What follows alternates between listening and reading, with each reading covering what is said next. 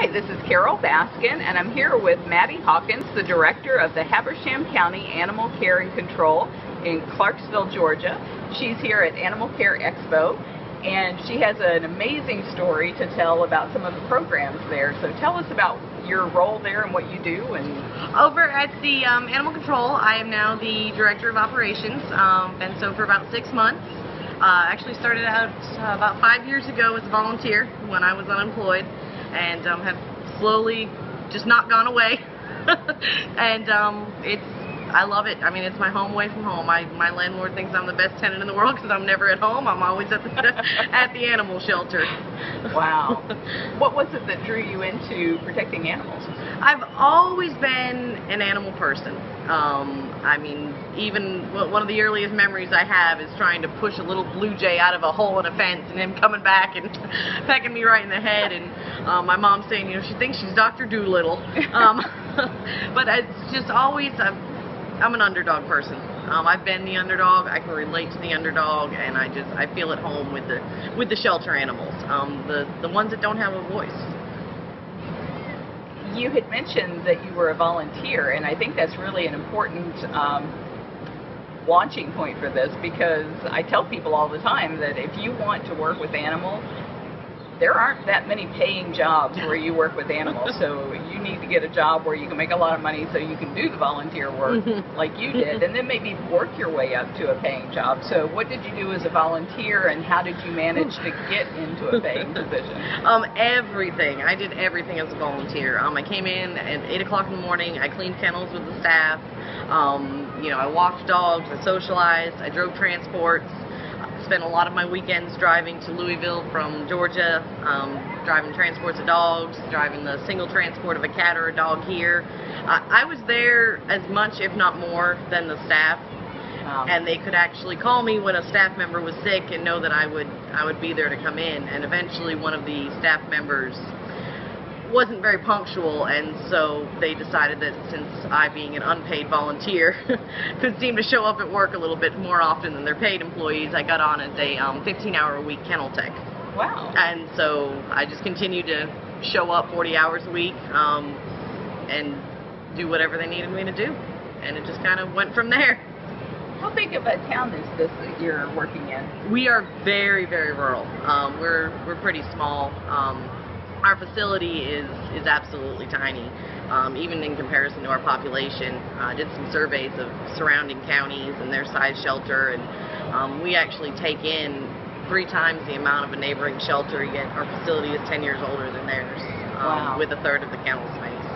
Uh, we actually have 26 kennel runs, that's it, um, for our large dogs, and our cat room quarantine consists of 10 cages, and our cat adoption room has two, now it has two uh, community rooms where we have the females and the males and we do leukemia testing on everybody and it gives the uh, adopters a way to see their personalities a lot more but our town is is absolutely tiny. We have more cows than people um, but we definitely have more animals than people definitely. Um, I mean, constantly we're saying, where did these all come from? You know, there's no way that there's this many animals, and it just, up until this year, we really haven't seen a decrease in any of our intakes. Um, but some of the programs that we're starting to implement are really starting very quickly to show drastic change in the amount of animals that come through our doors. You had mentioned that you were from Tampa, I think, before, and then moved to yes. Georgia. Um, one of the funny things you told me was about what people call the dogs there. Yeah. um, when I had moved to, and I'm probably going to sound absolutely ridiculous for this, but um, it, it, just definitely shows the culture shock I experienced when I moved to Georgia. Um, I thought the yard dog was a breed I had never heard of.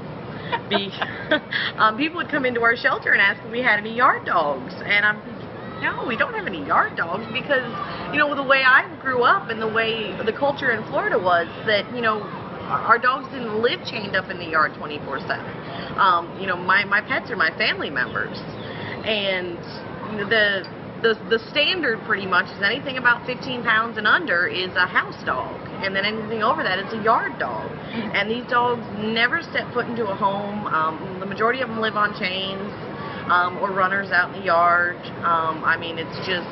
It, it, I can't even explain the, the confusion that I felt for the lack of compassion and care for the animals in our area. Wow. Now, is the Habersham County Animal Care and Control, is that a county-funded thing? Yes. Yes, we are. Um, we're the dog pound. Um, we're the dog catchers.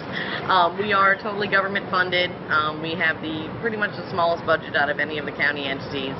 Um, we make do with what we have, um, and we have a very supportive um, board of commissioners and county manager. And I know that they do the best they can with what they have for us. But in our area, um, animal advocacy is just not a, a top priority. I know when counties are looking for where they can cut, usually the animal services are the first place that they Yes. take their red pen. Yes, yes. Fortunately, um, it, it was discussed a few years ago that the adoption and sheltering part of our uh, mission would be cut. Um, that would we would just be a holding facility um, for the animals. They were not reclaimed. They would either be transferred to other facilities um, or euthanized. And fortunately, that only got to maybe a five-minute discussion and was immediately squashed. Good. wow. Do you guys do any kind of fundraising in addition to the county funds, or are you even allowed to? Um, generally, we do all of our fundraising through our nonprofit partner. Um, we have a Friends of type deal um, that was recently formed. Um, it's called Habersham Help. And so a lot of the grants that we're not able to get as a county entity, um, I'm actually on their board as well as the grant writer, so I will write the grants for them, and then in turn they will sponsor um, certain events for us. Um, their volunteer base is a lot larger than our volunteer base. Uh, most people don't want to come to the dog pound or the kill shelter um, and help out, and I don't blame them. It's depressing. Um, it, it's not for everybody to be in the kennels with, with dogs that they know they might not see again next week. And so with her volunteer base, they come to our offsite adoptions, they do our fundraising, um, and we're able to get a lot further along with with them. Um, they actually fund all of our transports as well, where we take animals to um, no-kill rescues um, in the Midwest and the Northeast. Um, we have a group that is called uh, Tailwaggers 911, and they have pulled over a thousand dogs from us in the past five years. Um, Wow. And they're totally wow, foster a based. thousand Yes. from this small Yes. facility. Yes. Uh, so you can see our intake numbers are are pretty big for Good. what we're working with. Um, and it, it's been a long road, but we're, we're doing anywhere transfers of, you know, 40, 50, 60 dogs to her at a time. And we um, try to partner with other facilities that have very large transport vehicles, so we're able to do this. Um, and that's usually weekend time for me that's spent driving up there. Wow. You know, I was totally oblivious to those kinds of operations where they pick up a bunch of animals from one shelter and then take them to other shelters where they have more demand for animals. Exactly. Um, this particular place in Wisconsin, this area, um, they have such strict spay neuter laws um, that you know they don't have these mixed breed dogs that we do here in Georgia. And so great problem I know. um, last summer I went up there and I spent some time with the president of the rescue, and um, I was up there for 10 days. And when she went to drop me off at the airport, she pointed out, she asked me, "How many stray animals did you see while you were here?" I said, "Not one." not one. No cats, no dogs, nothing running up the road. Um, there's doggy parks, there's special doggy boutiques, there's special doggy this and kitty that, and um, you know we're we're lucky to find pet friendly anything in our area. You're working toward those kinds of goals, though, because Yes. you were telling me about your feral cat program. Yes. Tell our We uh, we are so excited about our feral cat program. Um, and to be brutally honest, I was not a fan of TNR um, a couple years ago. I was definitely stuck on the stigma that it was easier, um, cheaper to just euthanize any ferals that came into our shelter. And when I started actually listening to people who were talking about um, TNR and the benefits of it, um, you know, I, I learned a lot, and we wanted to start doing something like that at our shelter finding anything government funded for TNR is, is generally pretty hard. Um, we got a grant through Habersham Help um, that we wrote to fund our first TNR project, and it was a $4,000 grant. And with that $4,000, we have actually spayed and neutered over 120 cats so far Nice. um, in the past two months. Oh my These, goodness. these are cats that would have been dead if they had come into my facility at a different time. Um, last year, we actually euthanized over 800 cats in our facility. Um, this year, from January to today, 47 cats have been euthanized. oh Um. I mean, what a difference. yeah, yeah. Oh. Uh, I, it's just, and they laugh at me. My staff laughs at me because I'm like, oh, my ferals, my ferals, you know. And I'll be out trapping at 2 o'clock in the morning, and we do, um, there's a low-cost spay-neuter clinic in um, Atlanta that's um, Planned Parenthood, and they've been doing our surgeries for us, discounted price, and um, we can bring them 20, 25 at a time, and drop them off in the morning, pick them up in the afternoon, and then we'll house them for about 24 hours at the shelter. And um, we'll, the plan is to release them back where they came from. Unfortunately, a lot of these people that do call animal control wanting cats removed don't want them back. Um, so we do have some backup locations for any cats. Um, we do put them on our Facebook page, um, ask anybody if they have barns, if they have you know wooded areas and can build a little cat house. Um, we have some chicken farmers. We're a big agricultural area, so our chicken farmers have actually been very on board um, with us donating them some pest control. And, you know, they agree they'll, they'll take care of them, feed and water and house them, and, you know, we'll fix them and give them their vaccinations, deworm them, and come pick them up. wow. And you said you had heard about this, and so you started listening. I'm going to try and block some of this noise with my body. um, you said that you had heard about how these feral cat programs were working, the TNR programs were working. Do you remember where you first heard about that? Oh, I don't remember where it first was. I mean, when you're in the animal community, you know, we, we hear a lot from a lot of people. Um, our local Humane Society, um, which used to be our partner group and decided to kind of go a different way, um, they were were kind of dabbling in TNR. There was a there's a park that we have in our city, which is known as the Cat Park, um, and there's just I mean, tons and tons and tons of them. But I still wasn't seeing the results of TNR because this was an area that we sort of knew that it had the issue, but we weren't getting complaints. And that's generally how we operate, is we go where the complaints are. Um, I'm not going to drive around looking to steal somebody's dog or, you know, pick up a cat. A lot of times, our, in our area, they, they do roam. It's not legal, but they do. And I, I, the last thing I want to do is for an animal to end up at the shelter that doesn't need to be at the shelter. And so since we don't get complaints in that area, we didn't, you know, go in there and trap, and therefore I wasn't seeing the results. So hearing them doing it, I thought, you know, what is all this? What is all this? And, but the more I actually started researching and talking to, um, you know, other people in other states and other animal controls, and that was a big thing for me was to find out how it was affecting other animal control agencies. Um, you know, and I have some friends down in, in Tampa still that, that work with the um, Pasco County Animal Services and um, a lot of these people were, were telling me that it, it does make a difference. And, oh my God. you know, this is so encouraging because I've worked with a group called No More Homeless Pets in the Tampa Bay area for a long time. And that, actually, the way I met my husband was Mary Key had brought in the speaker from San Diego, I think, where they had had such great success yes. with um, a high volume spay and neuter program and we both went to the conference and met each other there. So that's been wonderful, and that was in 2002 that I met him. But it's been really hard for this idea to catch on because so many directors of so many humane societies think the same way you did. It's like mm-hmm. that'll never work. That's just too huge, and people aren't going to accept it. And the money is, you know, where are we going to get the money for that? We've got money for euthanasia. We don't have money for that. Right. And so it's wonderful to hear that people are one by one getting that message and going, hey, I can do this too, and then seeing this. And one of the things that really helped me um, when I started first seeing all the news on TNR or SNR, which is the shelter need to return, which I learned about here, um, which we have also started implementing, and I didn't even know what we were doing, um, is is the cost. And a lot of places they have this astronomical cost for euthanasia. And when I saw that, I, I automatically, it turned me off to the idea of TNR because I thought it does not cost $150 to house a feral cat for four days and then euthanize it. Um, you know, so it kind of turned me off to the whole idea of it, thinking, well, if they're embellishing this, what else are they embellishing? Um, but I found a lot of other places that, you know, maybe it was just my area that this particular thing was didn't cost that much, or because we have a good relationship with our vet, and I actually am the one that does the euthanasia at the shelter. Um, so we're not paying an outside vet. You know, maybe these costs are different other places, or I would start to find people that you know did say, yeah, you know, it it does cost less to euthanize them, a lot less to euthanize them, five or ten dollars. Um, but that's not what it's about. You know, it's it's about those numbers, and those numbers do not lie. And when I can you know, look at a, a sheet of my my data entry and go, I didn't kill a single cat in two months.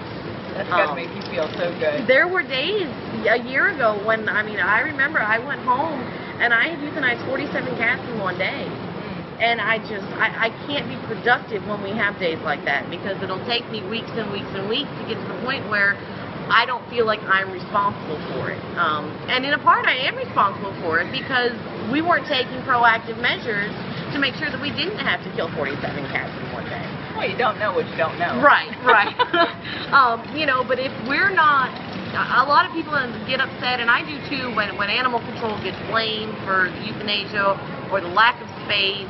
Um, but a lot of it can be remedied by by us and what we do and what we choose to do and how we choose to, you know, implement our practices and you know taking a week to go to something like this that may not really have anything to do with animal control training, but it's going to change my shelter for the better when I go back. Um, you know, and some of it I, you know, isn't for us, but the things that I did learn are way, way, way more beneficial than you know the things that that didn't work. Um, and I'm so excited to go back and start doing some of these um, these ideas that we've that we've learned here. Um, What were some of the take-home things that you think you will be able to implement right away from Animal Care Expo? The, I had three classes that were my absolute favorite. Um, the first one was the innovative approaches to saving little ones, and that was about you know our small kittens and vaccination schedules. And shelter medicine is a lot different than your average you know veterinary medicine. And you know learning about the vaccination schedules that you know haven't been what our vets been telling us that are worth a try because obviously somebody's having success with vaccinating them earlier, um, you know, deworming them earlier, not waiting till six weeks. Um, there, we were talking about in my last class about the fast track and how to, you know, base the, score the animals based on adoptability. Get your, as much as we don't like to think about animals in a shelter as merchandise, they are, and you want to put your best merchandise out there because that's going to clear you up the most runs. And I have been incredibly guilty about putting that sob story animal out on the adoption floor in the place of an animal that I knew could have gotten out faster because I felt sorry for it and I wanted to make sure that one got a home. Well, how many adoptable animals could have gone in and out in the time that I spent on that one that, you know, I could have had in quarantine working with instead? Um, so that was a, a big thing. And then also the um, open adoptions. Um, you know, making these animals available visually to the public before their hold time is up.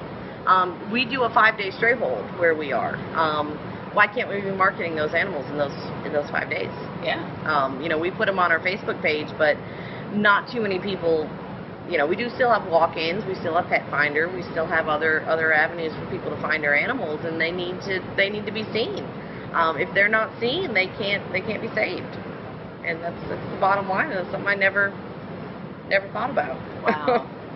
it, it's so comforting to me to see that you are so joyous in a job that would just crush most people. And I think the reason that you feel that joy is because you really can make a difference and you can be that intervening factor for all of those animals that you do get through your doors and back out to rescue groups or out to adoptive homes or even back out into feral colonies where they can live out their lives being cats. We actually have six now at the shelter that are outside.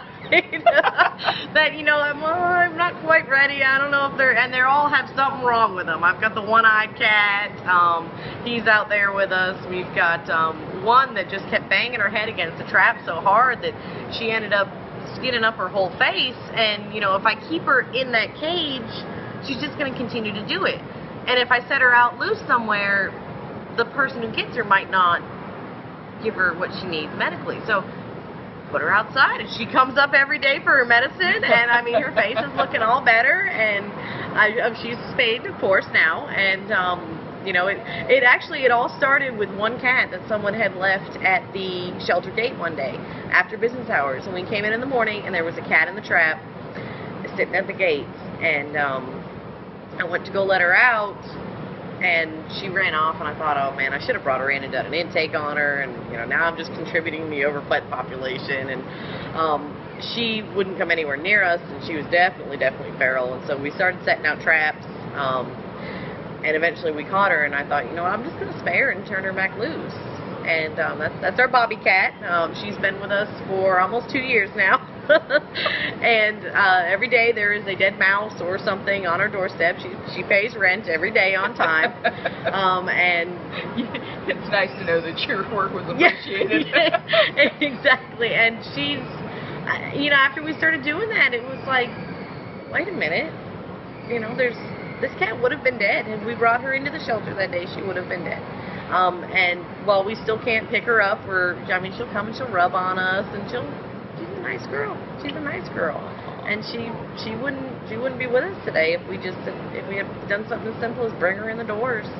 Um, we, we usually, before, would, I mean, most feral cats get euthanized on intake. Um, they'd be scanned for microchip. If they were deemed feral, then that was it.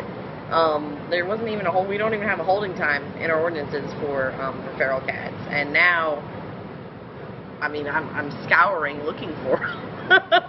you know, I'm trapping till two o'clock in the morning. I need feral cats. You know, we're just not having the volume of cats that that we were already. And um, you know because know, they're not reproducing. Exactly, exactly. And I mean, some of the places that we went to, the cats were just attacking each other, you know, eating the babies because they just the people couldn't handle what what they had and they were just reproducing at such a rate that, you know, they they couldn't do anything. And you could tell their hearts were in the right place. They wanted to do the right thing. Um, so there were a couple of particular places we went in and, you know, 40, 30, you know, whatever cats. And now it's like this little cat parrot. They all just lay around together and hang out. And um, most of the kittens that were there, we were actually able to um, tame and um, adopt out. I don't have any of the kittens left from that house at all. Um, there was one, and oh, I love this little guy. He would sit on top of my traps, and he would never go in. He was like my little arch nemesis kitten, and he was just this little fuzzy black thing. His eyes were all matted shut. He was scraggly, missing hair. Um, I mean, he was a mess. And finally, one night, I went out with a flashlight, and I, I caught him when he was sleeping with my hands. and uh, we sent him off to. Um, I, well, at first I, I brought him home because he was just in such rough shape, and I treated him for his upper respiratory, and he got to the point where um, he wasn't cleaning himself, so I'd have to give him a bath every night. And then he eventually got to the point where he would let me blow dry him, and he'd lay back, and I'm like, oh, this is ridiculous. um, and when we sent him to get spayed, uh, or sent him to get neutered, I'm sorry, we um, the spay neuter clinic called and said, you know, hey, we we can place this little guy. You know, can we keep him? Of course. and that's saying something because black cats are hard to place. Exactly, exactly. And he would, you know, he was just such a nasty little thing when I found him, and he turned into the most lovable little little cat ever. And it, I mean, maybe a week or two, maybe a week or two. And you know, there's a lot of the adults that might not ever decide that you know they they want to be a, a house cat, but that's okay. That that's okay. Um, you know, they they totally deserve the same same options as, as any other cat, and they're they're happy outside. I mean, they're they're so happy. When we did our first release, our large release in an area, I the best part was opening those traps and letting them out and watching them, you know, shoom. Them they'll be back. Don't worry. You know, it was just that initial feel of, oh, I'm free. You know, they didn't kill me because I, I'm sure they know. I'm sure they know when they see me coming that it, it might not end well for them and now, um, you know, we've, we've actually gotten really good at trapping. Um, uh, some of my animal control officers still kind of they, they trap like animal control officers. Um, I'm trapping like a feral person now. So we've got our, our newspaper in the trap, and you you got to cover the um, the plate so they don't see it because they're smart. They're smarter than we give them credit for. Um, and I've been telling my officers again and again, if you set those traps where they can see their friends in there, they're not going to go in they know. They know. You gotta hide them. You gotta disguise them. You know. and uh, there was one house I went out on. My my officers had had trapped all day and didn't catch a single thing. And I went out about 7:30 and reset all the traps, put the paper in them, moved them around a little bit, and it said ching ching ching. The traps are going off. Lady's like, you must be part feral cat. I actually learned something at this conference from uh, Dave Foley, who was talking about humane trapping, and he I'm usually having to trap a bobcat that's been hit by a car. So, the, you know, they're dragging themselves around out there in the woods and I can't find them, so I end up setting a trap. But they're so smart, they will like reach past that plate to yep. get whatever it is. So he buries it in a can underneath the trap, so that they have to kind of dig around at the floor to get to it, and then they set off Oh. the, the plate. And it's like, oh, that is genius. I can't Yes. wait to do that. Yes. we, we do have some. That's why we started covering our plates because they will lean over, and I've had them, you know, bite it, and you'll you'll see the can, you know, all shredded, you know, five feet away. They do that? You know, they're they're they're They, smart. like will it out of the cage. Yes. exactly. But my favorite are the ones that just sit on top of the traps, like, "Hey, lady, yeah." It's a statement. exactly. Oh, gosh. In Florida, they have an association of animal control Yes. agencies. Do they have this in Georgia? we do um, uh, GACA, which would be the Georgia Animal Control Association. Um, they're not I very thought FACA was no, bad. no, GACA, yeah. Um, they're not very active right now, um, but we do have the National Animal Control Agency, um, NACA. Sounds a little bit better. Um, there were uh, two representatives here Oh, at good. the. mhm, um, the executive director was here, um, and then one of their uh, gentlemen that does the training courses was here. Um, so I'm, I'm finally actually going to be going to NACA in uh, September. Um, so five years later, I'm going to officially get some some animal control training. And do you think that they would be able to bring this to other animal control agencies? Definitely, definitely. NACA um, is trying very hard to change the, the stigma that animal control agencies have, um, and it's very big on education.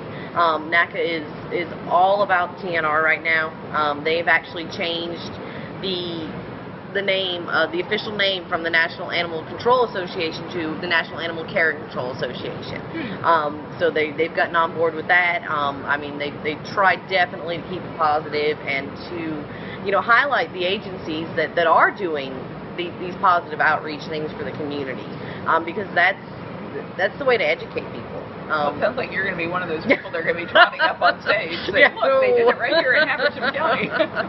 we we tend to hang around with the more of the Humane Society folks, but it's I mean they're they're a really good organization and um, you know they're it's national certification, but it, it's a lot more. Animal control is a lot more than it used to be. You know, it used to be you know just going out there with a net and catching that dog, and you know we we deal with a lot more than people think.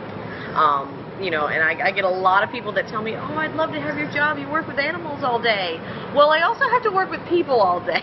and as we were discussing earlier, you know, some of the surrender reasons that we get, and you know, being able to maintain professional in a situation where somebody comes in to surrender their 12-year-old cat because they don't like cats, um, it's That's just so unthinkable. Uh, can prove to be difficult. And this was not a new cat that someone acquired at age of 12. This was a cat that they've had since they were a kid. Um, you know, or the person that says that their dog doesn't need to be fixed because it's a male and it only gets off the chain for two hours a day. Um, you know, a, lot of this is is is ignorance, um, and it's And selfishness, from what you were telling me about what some of these people, I, I would never dream that somebody would come in and say, I don't want this animal and I don't want anybody else to have them. Yeah, yeah. I mean, we've had situations like that where, you know, somebody has had to move and they are putting their animal in as an owner surrender euthanasia request because they don't want anybody else to have it. And uh, fortunately, you know, a lot of places will kind of prey on the fact that owner surrenders don't have a hold time. Um, I, uh, you'll see some facilities where um, you know, Facebook fanatics or, or certain advocates will tell people to, you know, lie and say it's a stray so that it can have that hold time. Um, at our facility, you know, I kind of value our owner surrenders. I can learn a lot more about those owner surrenders um, if people are honest with us. Even with the guy that didn't like cats, you know, because I is it is it the cat? No, it's just all cats. Well, okay, so then you're telling me this cat has no particular behavioral issues. You know, I, I can learn from that, Yeah. and I can, you know, has it lived inside? Well, yeah. Okay, well that's a reason not to like it. Okay, but good. I know it uses a litter box. Um, you know, and so we can gather more information on them that way, and we can we can move them out faster.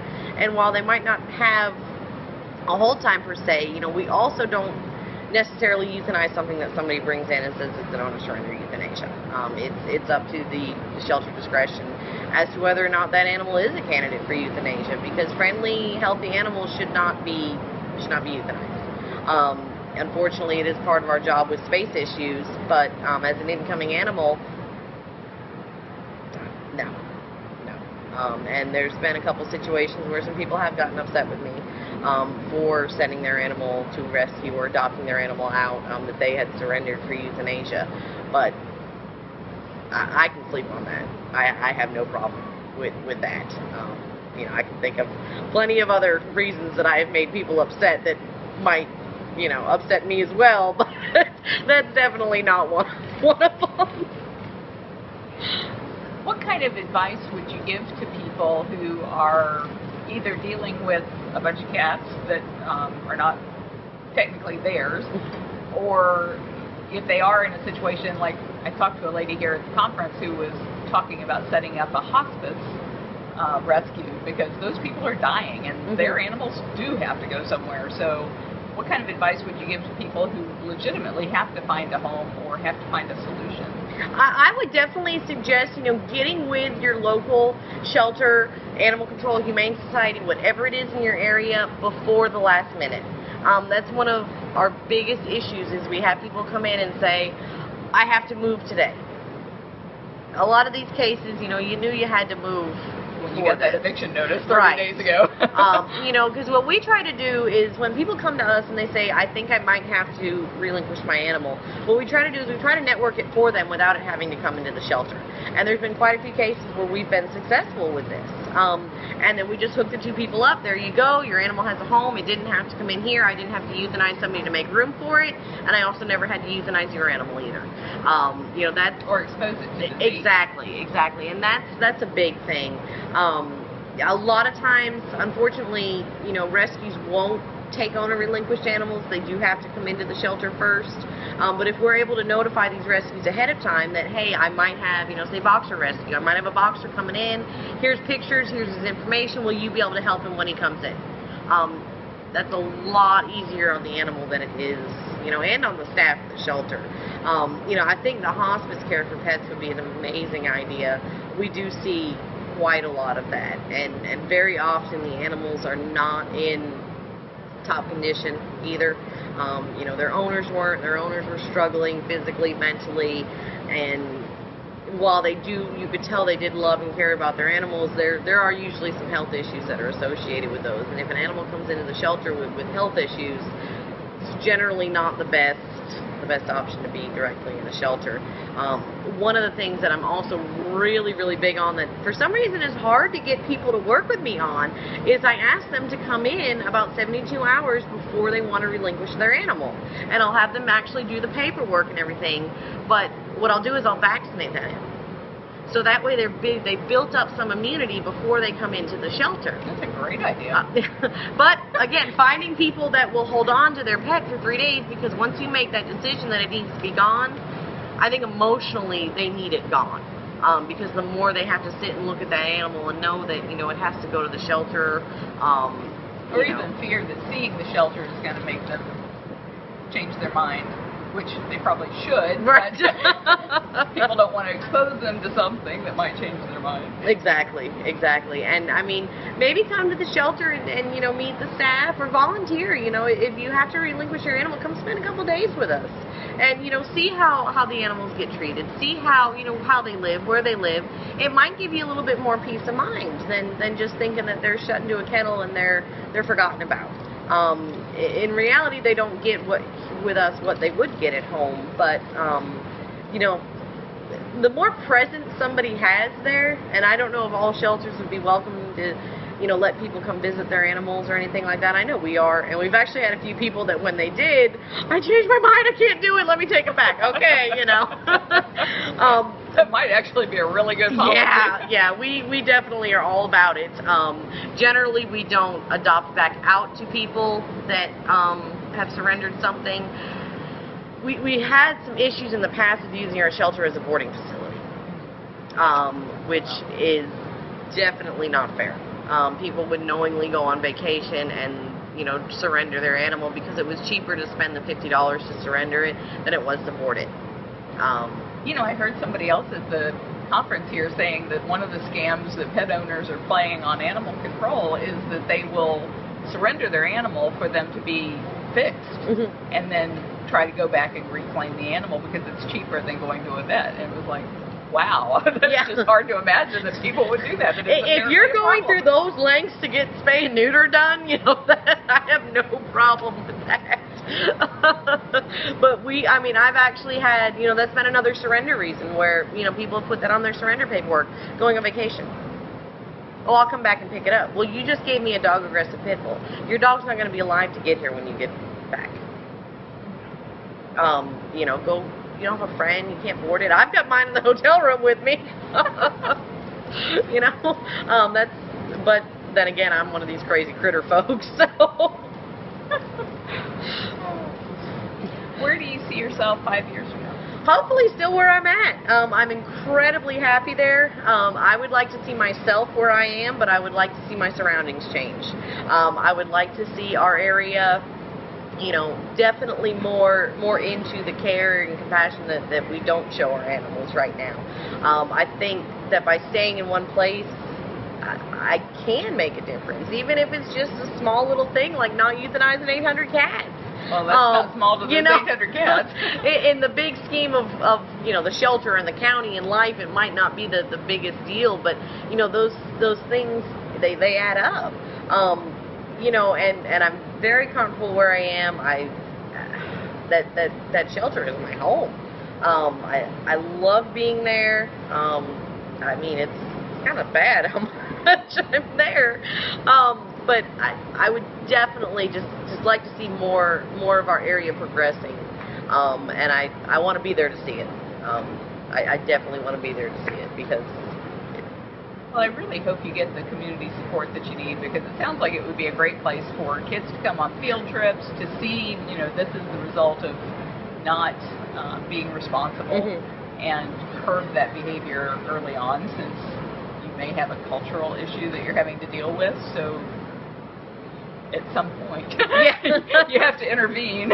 well, we do a lot of um, you know humane education the best we can, and it's, it's me that goes out there and does it. Um, so we don't have how you have time. Yeah, uh, my job is director adoptions, rescue, intake, vet tech, um, kennel tech. I mean, we have right now, um, since I'm here, animal control and the shelter is being run by one full-time person, one 30-hour person, and one 15-hour person. Oh my. Um, that's our staff Mm. and me.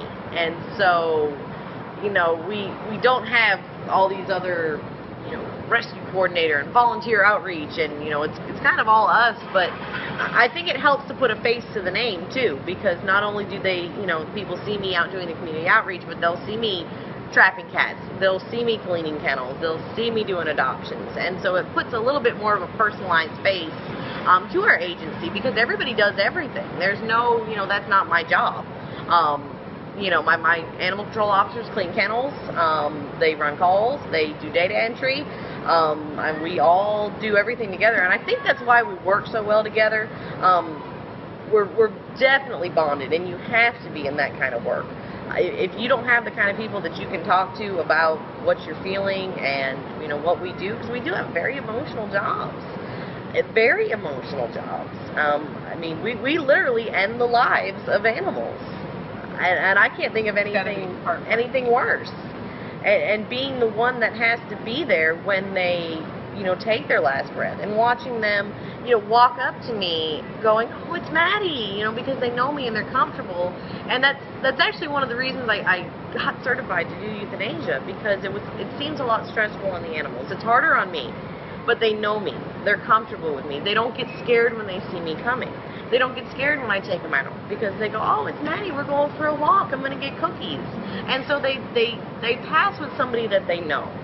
Um, you know, they're not being pulled out in mass numbers and you know being euthanized by a vet that doesn't know them that they don't know and they know i mean they know what's going on but making them comfortable in their last you know their last moments because that's you know a lot of them that's that's all they've known is that kennel um it, but every now and then you get that one that you know there we had one a dog we we've had him for eight months and to live eight months at a kill shelter has got to speak volumes for this dog's personality Wow. and I, I just couldn't do it. I, I could not put this dog down. And he had every issue you could think of. You know, he had the barrier aggression, he had dog aggression, he had cat aggression. I mean, and he was just a plain old brown dog. And there was just something about him that he was just so smart. And he would see me coming with that box, and he knew what it was, and he would run to the outside part of his kennel. Wow. Uh, Every other time, he'd come right to the front door. Well, after a very long amount of time, and we started, I started doing some behavior enrichment programs. Um, Bound Angels in Malibu um, has sent me a lot of literature on, on how to work with shelter dogs, and so we've been implementing that. And Hash Brown, this dog, was my project dog for to see if this program worked. By the end of the two weeks that we worked with him, I had that dog in my home with my two cats and my dog. Oh wow. Not a problem. Not a problem. Isn't that something? And my thing was that I was coming here and I said, Saturday, we have an adoption event. If he doesn't get adopted Saturday, I'm going to have to put him down before I come here. Friday night at about 2 o'clock in the morning, I got the strangest Facebook message from somebody that had seen me sharing his pictures of him interacting with my animals. He had been lost for over a year from a county away. Oh my. Oh my goodness. and she came and she picked him up on Saturday. Oh. and had pictures of him since he was a puppy with the with the boys and she had two little boys and they were just so happy to have their dog back. And if you think how many times. Yeah. Oh my word. I mean, there was week after week after week that this dog did not get euthanized just because because I don't know. Divine intervention. I mean, and everyone was telling me, Madi, it's not fair. You know, you need to put him down. There's other dogs that are being put down, and I, I knew it wasn't fair, but there was just something, and I, I couldn't believe it. I couldn't believe it. Eight months at, at a county dog pound in Georgia, Wow. and he got out on the very last day to his original. And they never thought to check with us because they don't live in our county. They never thought to check with us. I interviewed a lady yesterday who runs a pet detective agency, and they take shelter dogs and train them to find cats. Oh my gosh, I love it. and yeah, they say only like one out of 18 dogs is really good at this because it has to be a dog that loves cats. So Mhm. this dog wouldn't have been a candidate. For No. But not until after you start Yeah. working with it anyway.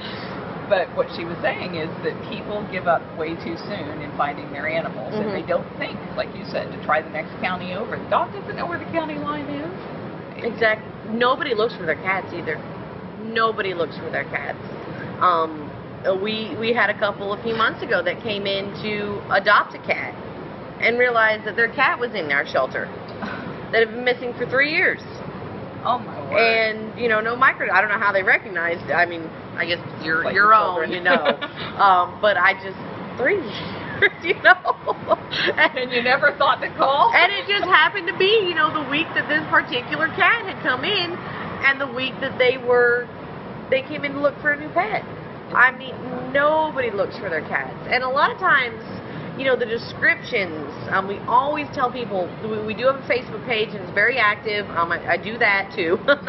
um, you know, so it's not like it's volunteer run; it's the staff looking at it to put your, the pictures of your animals up, because your description might not match my description. And if you knew how many brown tabbies we have in our shelter, wow. um, you know, and cats can travel a good distance. Oh, they can, gosh, yeah. yeah, even the little cats. Um, you know, you, you don't have to be a tiger to go miles. to get stuck up under the undercarriage of cars and get carried for hundreds of miles and dropped off. Yeah, So we they- we had one that, my God, he was one of our um, outside cats. He was uh, a little bit too fat to fit in any of the cages, and uh, Fat Albert was his name, and his big orange tabby, and he had the habit of going for rides with people. And I had gone from Clarkesville to Blairsville, which is probably about 30 miles, um, up and down a mountain. So we're winding roads. I get out at Blairsville to drop the dog off I was bringing to a rescue, and I hear meow. and here he comes, popping out from under the animal control truck. oh. I, I couldn't believe he didn't get slung out. Like, yeah, he, yeah, I'm here. Okay, let me in now. Let me in the in the truck. Um, I mean, he was a hoot. He was a hoot. I mean, some of these cats, like, but it's it's so easy. It's so easy. I mean, I I didn't notice he was there. I no clue, no clue till he started meowing when I got out. Um, I mean, he could have fallen out anywhere, and this was two or three counties away. I, I was driving once and I just happened to look up my rearview mirror and there's a cat spread eagle over the back window of the car, holding onto the rubber gasket. I'm just like he must have been sleeping on the back of the car when I got in, and I didn't look back there. And and that's another that um, you know we try to pe- tell people during the winter time, bang on your car hood. Yes. um, because that's one of our big calls in the wintertime uh, for animal control is that somebody started their car and there was a cat in the engine. Um, and it's not usually bode well for the cat. no, it, it does not. And then there's really not any way I can get in there. You know, I'm not a mechanic. I can't lift this engine out, and it's you know a lot of these times these cats are injured and they're they're staying in the back because you know what what injured cat is going to go? Oh yes, I'll come to you. Um, they're stressed, they're scared, they're hurt, um, and they it's oh so just yeah we always tell people bang on your car hood especially in the wintertime um because they're, they're going in there because it's warm. It's Even a in nice Florida, Mhm. it's just that much warmer on a cold night. yeah. Exactly and i mean there's there's been cats that you know by the time somebody called that they they haven't been alive anymore. Um and and i think what what really made me aware of it i i didn't know and it, it happened to me. And um i mean my god i felt so bad i felt so bad and um you know because it just had never been something that you talked about you know It's like all of this stuff. If you've never heard about it or Mhm. you've never been exposed to it, you just there's so much. There's doing these interviews, I find there's so much I don't know. I thought I knew about cats. I don't Yeah. know anything because I find these people have these amazing insights into them. And usually it's through trial and error that we learn them. It's not uh, not just personal knowledge. It's uh, you know, unfortunate circumstance because that's what makes I mean that's for me what what initiates change is when something is is not working or something terrible happens. Um, then I'm going to go out. I'm going to find out why this happened, how I can prevent it. If everything's going smoothly and wonderfully, then you know why do I need to go out and bang on car hoods? You know, because before that happened, I wasn't something that I thought. Let me Google this and make sure you know cats don't get in here. um, it's amazing the places they can get in. That's for sure. You mentioned that you guys have volunteers. What does a person have to do to volunteer with you? Oh, um, we anybody coming directly to the shelter, um, as long as uh, we do volunteers that are 16 and up um, without parent. Um, anybody 16 or 17 has to have a parent signature on their uh, waiver, um, and anybody. That's good, though, because a lot of places Uh, most of our under 18. yeah, most of our pla- our, our volunteers are, are children, um, and anybody that's under 16 is more than welcome to come to us. Um, they just have to have a parent or guardian with them. Uh, a lot of times, some of the Boy Scouts, Girl Scout troops will have certain badges or, or patches that they'll do, and they'll send one parent with three or four children, and that's fine um, as long as they're all together in the same area. Uh, our we have a very prominent FFA and 4-H in our area too as well. So one of the community outreach programs that the students do is they have to come to the shelter and do volunteer work. Um, most of them just kind of want to walk dogs and stuff like that. But you will get the occasional kid that says, "I want to scoop poop." Sign me. Come on, let's go. You know, we, we generally try to keep the smaller people, or smaller people, but the um, you know, the the children out of the shelter until we're physically open because we do use chemicals um, and we generally don't want anybody around um, you know anything that, that could hurt them. Uh, we have the indoor outdoor kennels on the dogs so everybody goes outside during the cleaning process and um, you know so we do use lots of bleach and, and stuff like that um, wet floors. So we try to keep our volunteers that are younger um, you know during the regular business hours when they can do more of the warm fuzzy stuff like walk dogs or you know bathe the puppy or brush the cats um, do some behavior enrichment which is something new that we're starting to, to do. Um, we didn't do that before. Um, and it's amazing the difference a little ball or a feather in the cat cage can make or giving a dog a bone. We've had such a problem with the dogs chewing on the poles outside give them a bone. I, it took me years to figure this out. Give them something to tear up. Um, and what we've started doing is collecting old water bottles and socks. And we'll tie the sock in a knot around, put the water bottle in the sock and tie it in a knot and give it to the dog. And it's a nice crunchy toy. If they shred it, it's free. It doesn't matter. Everybody has old socks with holes in them they don't want anymore. Um, you know, we're right next to the recycling center, so we've been telling people, hey, instead of going to the recycling center, bring me your bottles. Um, we haven't had. The dogs love it. The dogs love it. It keeps them busy. It's noisy. It aggravates me. So of course they love it. You know, it, it's almost as good as a squeaky toy. we found with our big cats, the stuff that we give them, it's all free. It's paper towel tubes Mhm. sprayed in perfume or uh, toilet paper tubes that have had spices, catnip or something Mhm. inside them. Paper bags. They love oh cardboard boxes. Yes. we we get everything that we get, you know, shipped or delivered to us. You're gonna save those boxes for the cats, you know. And even if after you know two or three days they've shredded it and they've pooped in it or whatever, throw it out. Get them a new one. It's a box, you know. and it's great amusement for them because they are they're so smart and they're just bored out of their minds in cages. It's, my facility anyway, our cats are there for life, and so Mhm.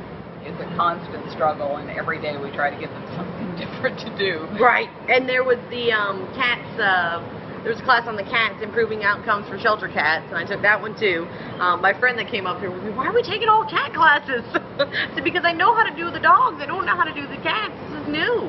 Um, it, it, it is. They are, and it used to be something that most animal controls just uh, the cats. There's so many of them. What are we going to do? Well, now that we're able to decrease our numbers through the TNR, we can actually focus on the cats as individuals, not just ugh, cats. You know, cat one, two, three. Well, everybody's got names and personalities, and we've started doing a um, new campaign on our Facebook that's Whiskers Wednesday, and we'll do a pick one of our cats and highlight one of the cats. Oh. And it's just a Facebook campaign, and it's silly, but we'll have them. They'll do a little photo shoot with a cat. We've got some little angel wings and hats and things like that. We'll dress them up, and um, you know, so far we, we've done two so far. So again, very very new. Um, but both those cats have been adopted. we found that if we put our foster kittens on Facebook, people line up around the block. It's like, just go to the Humane Society. They're all going to be there in a week. Yeah. then you put them on Facebook, and people have to have that cat. and that's how we do. Facebook is the majority of our networking, um, and it. Our, our area, like I said, is just so rural that nobody really comes looking for animals. We've we've had a much better response for people looking for barn cats than we have people looking for companion cats, um, and that's that's okay. That's okay. Um, but we've and, and cat rescues in our area are far and few between. Um, they, they're kind of like pit bull rescues. You know, you hear a lot about them, but you really don't see them. um, and so we, we've got a couple groups that have pulled one or two from us, um, you know, or, or kittens, or um, you know, occasionally when they get space and they have a transport, you know, hey, look, Habersham, you know, we can take four or five cats, um, and and that's that's great. But a lot of our cats have been there for quite a long time. Um, we have some that are six months, eight months, a year. Um, and these are just such great cats that, you know, we, we don't necessarily base our euthanasia based on time at our shelter. Um, we do euthanize, and we do have to. You know, we luckily haven't done any cats in the past two months, but um, uh, it, it's on an animal per animal basis because I'm that cat that's friendly and has stayed healthy the entire time in the shelter, and we're, we're fortunate enough to have our cat adoption room be a um, you can actually go in and I don't remember what the word I was used earlier was, but um, you know, people can they're not in cages. Um, they're more of a free range cage free. Free range of chickens. yes, free range cats. Um, and the room is separated into two large enclosures, and there we have the females and the males. Um, and so it's it's a lot nicer for the people to be able to interact with them, but for the cats, I mean, it's not having to sit in that tiny little cage um, because they will go crazy. And and some of the sweetest cats will turn into just mean, mean, mean, mean, mean critters, um, just because they're not mentally being exercised. And uh, we had one when I first started volunteering there. He cracked me up. He had been there for a while, and he we named him Tweak. so that might give you a little insight onto his personality. But he would take all the newspaper and he would line it up against the door of the cage, so you couldn't see in. And he would make a little slit, and when you walked by, it would pow, pow. Uh, and but you know he didn't have any other way to expel that energy, and so when people would walk by the cage, they'd get swiped. and you know we don't have that problem anymore with our large adoption room.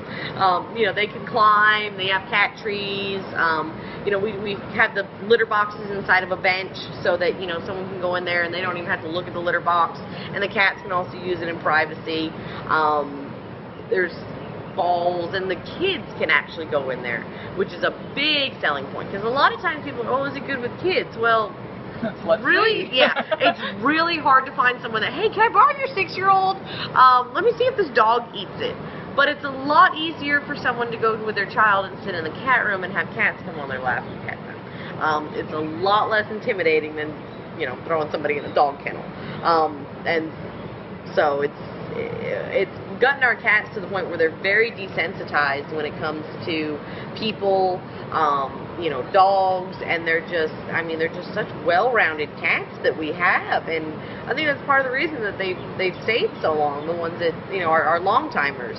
Um, I mean, I can walk a dog in there to temperament test a dog, and they'll all just lay around or come rub up on him. Um, I, so it, it, it not only benefits you know the people coming in to adopt, but it benefits those cats because you know they're they're just not stressed out by some things that would stress out a cat that lives in a tiny little metal box his whole life.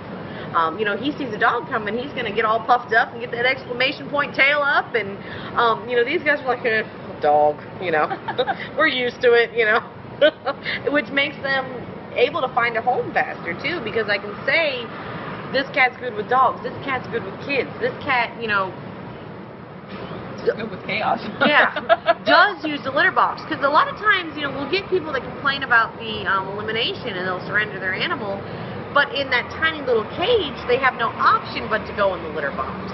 When they're in the big cage, I can actually tell if someone's not pooping in the box or not. Um, can't always tell who it is, but um, you know, we, we generally figure it out if one's been labeled as the uh, house soiler or something like that. Um, but you know, them having that additional space just, I mean, makes such such a big difference. Such a big difference. Well, this is wonderful. An hour has gone by. oh my gosh, really? and this thing will shut off in about an hour. So thank you so oh much. no, thank Madi, you, thank you. Joining us, and I really hope I can clear up the audio on this because it was great stuff. It was just so noisy inside, and it turned out to be pretty noisy outside Yeah. as well. Well, Do you have a card? I do, I'd I like do. Do is, and I uh, also have my it- I Heart Feral Cats button on. had to had to represent. I'll put your contact information Oh, cool, at the cool. bottom of the video, and I'll send you a link to it. Awesome, that would be that would be super cool. great. Thank you. Well, thank you so much. We are all about trying to get get our, our stuff out there now. I mean, we've been such bad guy dog catchers for so long, and it's it's just. I mean, I'm so grateful I got to come here. So grateful I got to come